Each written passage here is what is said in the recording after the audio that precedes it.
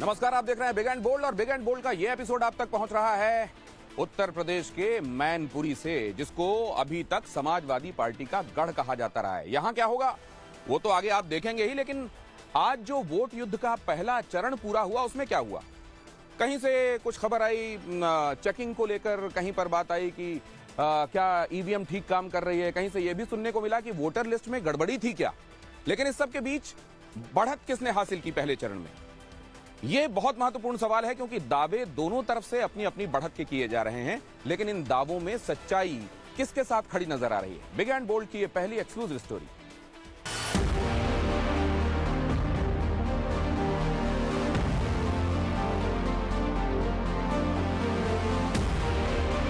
आपका ये उत्साह दिखाता है, फिर एक बार,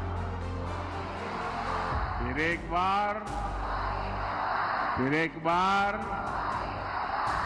पूरा देश एक ही भाव के साथ जुड़ा हुआ है कि जो राम को लाए हैं हम उनको लाएँगे। जो पहले चरण से खबरें आ रही हैं उससे महसूस हो रहा है कि इस बार पश्चिम की हवा भारतीय जनता पार्टी का पूरा का पूरा सफाया करने जा रही है।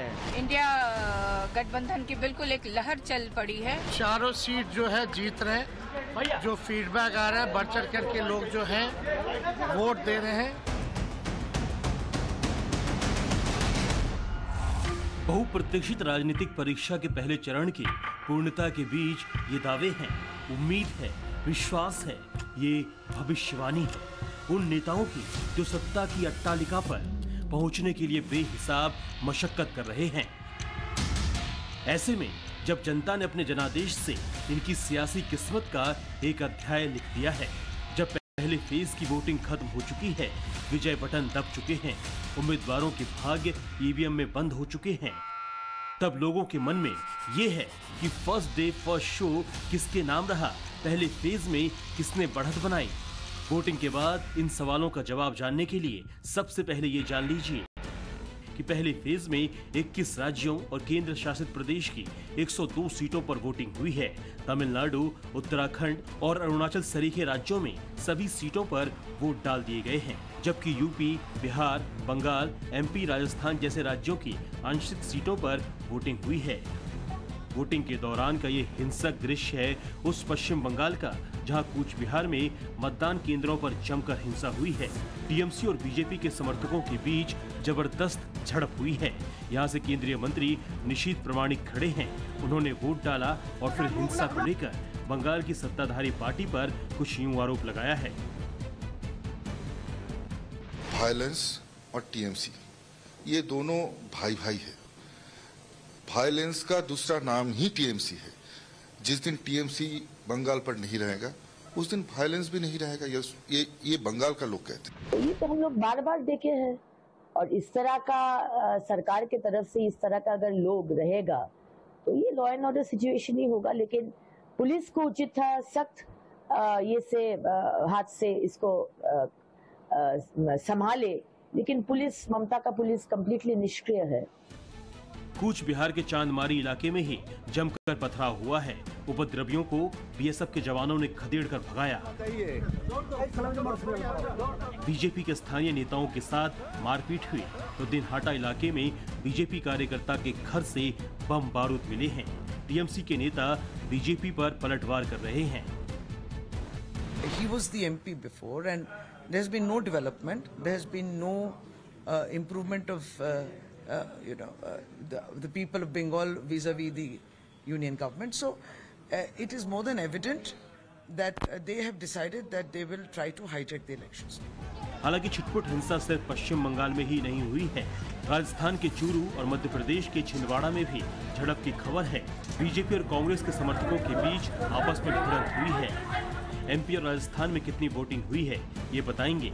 मगर उससे पहले जान लीजिए कि पश्चिम बंगाल की 42 में से सिर्फ़ तीन सीटों पर वोटिंग हुई है। कूच बिहार जलपाईगुड़ी और अलीपुर द्वार तीनों सीटें बीजेपी के पास हैं। ऐसे में इस बार वोट डालते वक्त लोगों ने क्या सोचा ये जान लीजिए जरा। मोदी मोदी मोदी। ऐसा क्यों दादा क्यों लगता है आपको? सब देश में देखा हम आइन कानून सब बदल गया। कश्मीर में डेवलप हुआ ऑल इंडिया के लिए वोट डालते हैं मोदी के लिए मोदी सरकार की जो है नीतियाँ महिलाओं के लिए क्या उससे खुश है आप? हाँ हाँ हाँ मोदी सरकार के लिए तो खुश है पश्चिम बंगाल में टीएमसी और बीजेपी की लड़ाई में मोदी को सत्ताहीन करने के लिए बने इंडी गठबंधन कहाँ है वो ममता बनर्जी के शब्दों में ही सुन लीजिए जरा আমি শুনছি কেউ কেউ বলছে আমরা ইন্ডিয়ান অ্যালায়েন্স আমায় ভোট দিন শুনুন ইন্ডিয়ান অ্যালায়েন্স আমি তৈরি করেছি আর ওটা দিল্লির কথা এখানকার কথা নয় এখানে কংগ্রেস সিপিএম ইন্ডিয়ান অ্যালায়েন্স করে না ওরা বিজেপি করে তাই তৃণমূল কংগ্রেসের বিরুদ্ধে একটি ভোট কংগ্রেসকে দেওয়ার অর্থ বিজেপিকে দুটো ভোট দেওয়া बीजेपी से लड़ते लड़ते मोदी विरोधी पार्टियां बंगाल में आपस में लड़ रही है यही वजह है कि देश के सबसे बड़े सूबे में प्रधानमंत्री मोदी ने इंडी गठबंधन पर कुछ प्रहार किया। भाजपा गाँव गरीब के लिए बड़े विजन और बड़े लक्ष्यों के साथ आगे बढ़ रहा है। लेकिन इंडी गठबंधन के लोगों की सारी शक्ति गाँव देहात को पिछड़ा बनाए रखने में लगती है। अमरोहा में प्रधानमंत्री मोदी खड़े थे, जहाँ इसके बाद दूसरे फ़ेज़ में 26 अप्रैल को वोटिंग होनी है, लेकिन अमरोहा से सटे मुरादाबाद में उसी वक्त वोटिंग हो रही थी। ये तस्वीर वहीं की है, जहाँ फर्जी वोटिंग को रोकने के लिए नकाब हटाकर चेक किया जा रहा है और पोलिंग बूथ के बाहर खड़ी टीम महिलाओं के नाम पता और चेहरा मिला रही है। ऐसी ही तस्वीरें मुस्लिम बहुल इलाके कैराना से आई हैं, जहाँ नकाबधारी वोटर की शिनाख्त पहचान पत्र पर लगी तस्वीर से की जा रही है। इससे कैराना के समाजवादी पार्टी कैंडिडेट भत्ते से उखड़ी हुई है। कई जगहों पर अ, महिलाओं के बुरखे उठा उठाकर उन्हें परेशान किया जा रहा है जहाँ से वो अ, दिक्कत में आ रही हैं और इससे एक गलत मैसेज जा रहा है और कई कई पर मतदान के बाहर लाइन लगवा रखी है। जो प्रशासनिक दिक्कतें हैं इनके निस्तारण के लिए हमने आवाज़ उठाई है और हमें उम्मीद है चुनाव आयोग इन्हें सॉल्व करेगा। यूपी की सत्ताधारी पार्टी पर सीधे सीधे आरोप लगा रही हैं लेकिन कैराना के वोटर इस बार किस मुद्दे पर वोट कर रहे हैं वो सुन लीजिए। बस सब ठीक ठाक है। मोदी जी योगी सरकार है। सुख है शांति है और क्या मुद्दा है? क्या राम मंदिर भी एक मुद्दा है जिसको लेकर आप लोग वोट दे रहे हैं? वो तो भगवान का नाम है उसमें क्या दिक्कत है? उस पर भी वोट मिलेगा मतलब? हाँ मिलेगा। क्यों नहीं मिलेगा? आपको क्या लगता है क्या मुद्दे हैं आप लोगों के? भाई सुख शांति है कहने में और अपना से काम चल रहा है और क्या? है वोटिंग के बीच समाजवादी पार्टी ने कैराना से लेकर मुजफ्फरनगर और सहारनपुर तक आरोपों की झड़ी लगा दी। कहीं वोटिंग में खलल डालने का दावा किया, कहीं बूथ कैप्चरिंग का। हालाँकि प्रशासन की ओर से भी जवाब आया, लेकिन इस सब के बीच वोट डालते हुए सहारनपुर के लोगों के दिमाग में अपनों की सुरक्षा चल रही थी। केवल एक ही मुद्दा है और वो है विकास। विकास के मुद्दे पे सिर्फ़। मोदी जी योगी जी का जो हमारे पूरे उत्तर प्रदेश के लिए विकास हो रहा है सड़कें बन रही हैं और भय मुक्त हमारी बहनों के लिए हमारी माताओं के लिए जो वातावरण बना है उसकी वजह से हम सारे एक मत होके वोट डाल रहे हैं। विकास की धारा जो बह रही है उसका कोई तोड़ नहीं है। और मोदी जी ने इस देश के लिए इतना कर दिया अभी डर ही नहीं लगता कोई भी काम करने में। रात को लड़कियाँ देखिए एक एक बजे तक आती हैं बिना डर के। जब से मोदी जी आए हैं तो जो इंडिया लगता है कि इंडिया भी बहुत युवा फिफ्थ हमारी इकोनॉमी बन चुकी है और थर्ड पे ग्रोइंग इकोनॉमी बनने वाली है। अभी महिलाएँ बहुत सुरक्षित हैं जो आज से पहले कभी नहीं थी। और ये तभी हुआ है जब मोदी जी हैं। मोदी हैं तो मुमकिन है। और true voter true India and true Modi ji. ये जान लीजिए कि पहले फ़ेज़ में यूपी की आठ सीटों पर वोटिंग हुई है। इनमें से तीन सीटें बीजेपी के पास है तीन बीएसपी और दो एसपी के पास। जिस मुजफ्फरनगर में 10 सालों से बीजेपी जीत रही है वहाँ इस बार लोगों ने क्या सोचकर वोट किया वो सुनिए। मुद्दा तो यही है जी सुरक्षा का मुद्दा है। और बीजेपी की सरकार जो है बढ़िया काम कर रही है। इस बार मतलब मोदी जी की सरकार में देश भी विकसित हो रहा है काफ़ी आगे बढ़ रहा है। राम मंदिर भी मुद्दा है क्या? राम मंदिर कोई मुद्दा ऐसा नहीं है मंदिर बना अच्छी बात है पर राम मंदिर ऐसा कोई मुद्दा नहीं है वोट के लिए। देश के विकास की प्रगति को देखते हुए हमने वोट दिया। आज से दस साल पहले क्या था? इन सड़कों पे हम चल भी नहीं पाते थे। कभी मोबाइल छीन रहा है हाथ से कभी चेन छीन रही है।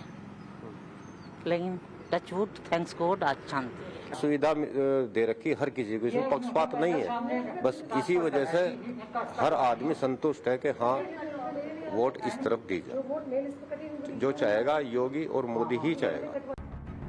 यूपी से सटे बिहार में भी चार सीटों पर वोट डाले गए हैं। बिहार में नवादा, जमुई, औरंगाबाद और गया में वोटिंग हुई है। लोगों ने अपने मताधिकार का इस्तेमाल किया। वोटिंग के दौरान अलग अलग तस्वीरें देखने को मिली। वोटिंग से दो दिन पहले जिस तरह चिराग पासवान को अपशब्द कहा गया उसने ज़बरदस्त तूल पकड़ा था। हाँ, नरेंद्र मोदी ही चेहरा।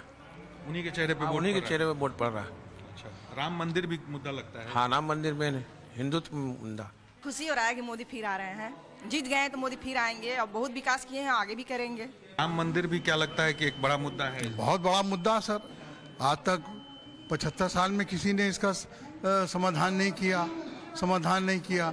मोदी जी के आने से एक बहुत बड़ा समाधान हुआ। मोदी सरकार को जिताना। अच्छा सीधा मोदी जी को जिताना है। हाँ क्यों ऐसा क्यों? वो बहुत विकास कर रहे हैं हमारे देश के लिए बहुत कुछ कर रहे हैं। नवादा और औरंगाबाद में बीजेपी और आरजेडी की टक्कर है। तो गया में हम और जमुई में। चिराग की पार्टी के सामने तेजस्वी के कैंडिडेट हैं। लेकिन मध्य प्रदेश में बीजेपी और कांग्रेस के बीच सीधी टक्कर है।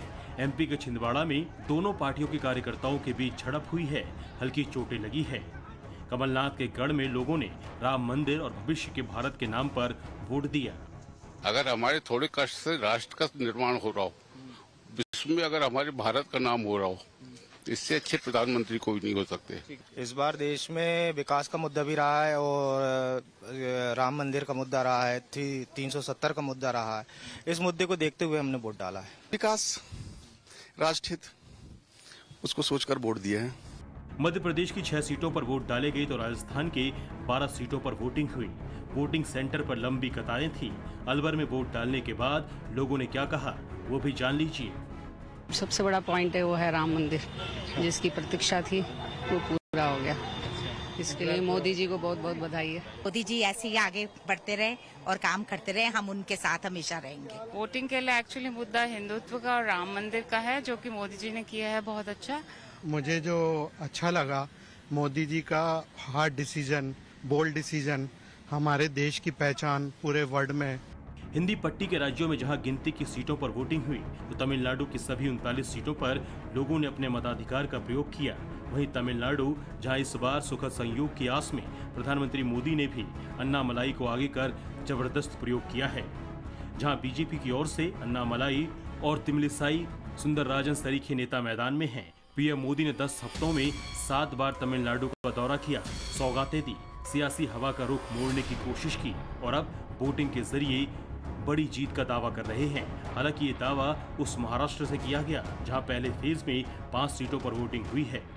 इंडी अलायंस मुद्दों की कंगाली से जूझ रहा है। और इसलिए ये लोग अब केवल गाली गलोच और अपमान की राजनीति पर उतर आए हैं। आपको बता दें कि पहले फ़ेज़ में मोदी सरकार के आठ मंत्री और तीन पूर्व मुख्यमंत्री अग्नि परीक्षा में बैठे हैं। राम मंदिर, भ्रष्टाचार, सनातन, विकास, महँगाई, बेरोजगारी और गरीबी सरीखे मुद्दों के इर्द गिर्द पहले चरण की वोटिंग खत्म हो चुकी है। जनता अपना फैसला लिख चुकी है। अगर मंदिर, भ्रष्टाचार, विकास के नाम पर वोट पड़ा होगा तो यकीनन एनडीए को बढ़त मिलेगी। लेकिन महँगाई और बेरोजगारी के नाम पर वोटिंग होने पर इंडी गठबंधन आगे होगा। हालाँकि जो भी हो, नतीजा 4 जून को पता चलेगा। ब्यूरो रिपोर्ट, टाइम्स नाउ न भारत